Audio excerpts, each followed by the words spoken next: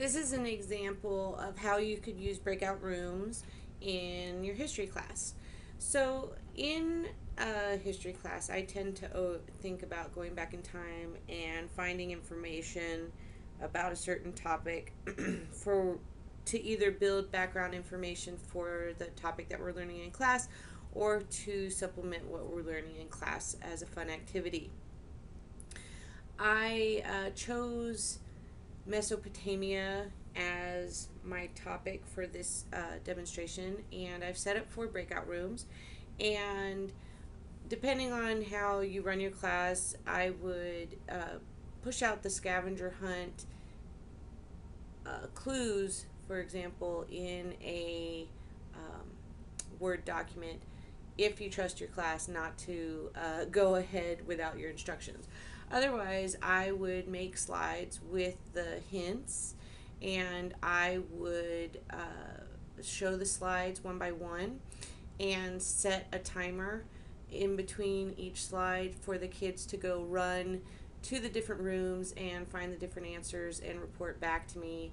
Uh, I could assign teams depending on how many students are present or it could be on a first come first serve whoever gets the right answer first wins that particular point and uh, if you have uh, several kids in other breakout rooms while you have a winner in the main room reporting back to you, you can easily bring all the students back to the main room and go over what the answer was to that particular clue.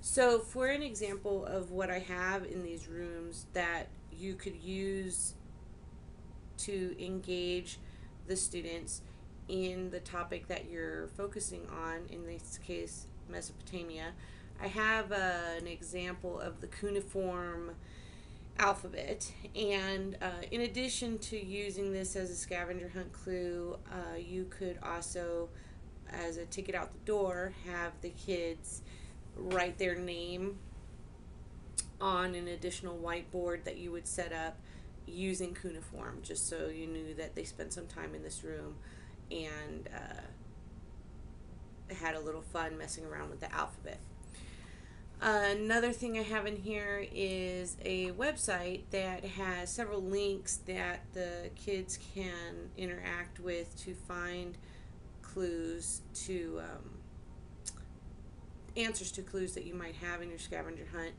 And uh, one thing you want to always make sure of is that the website is working before your kids are set free into it. Uh, this website is interactive, the one that I chose, and it's taking a minute to load. So uh, do always make sure that your website is working and that the links are working so that they can get to the answers that you're hoping they will get to. Um, I'll come back to the third room in just a second. Oh, I know what the problem is. I'm frozen.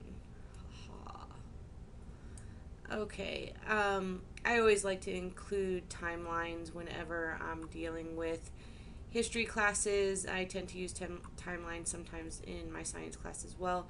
Um, this particular timeline comes from the Museum of Art. There might be other, there's artifacts here from Mesopotamia that you might want to include on the scavenger hunt or that they can click on and read about, and you could get very specific as to what the name of this piece is or where it came from, just so you know that they're spending time in the website, uh, getting used to looking for information that you want them to find, etc. And then, of course, I would always want to try and incorporate some sort of a video.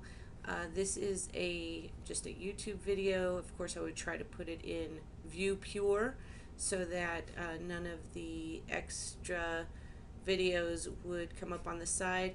I would also want to preview this video and pick out some sort of uh, clue or an answer to a clue in the scavenger hunt so that this would not be a waste of time and of course be careful in choosing the an appropriate uh, length for your video clip especially if you're doing a fast activity like a scavenger hunt um, at the end, it's always good to bring everybody back and debrief the activity, go over any of the answers that seem to not be able to be answered by majority of students, find out why, and or perhaps have students go off on their own and find a better website to answer the questions that you have, or possibly have supplementary questions. This could be a fun activity in preparation for a test or quiz. It's definitely not something I would try uh, during a particular lesson necessarily, but maybe as um, an extra activity throughout the week. Thank you.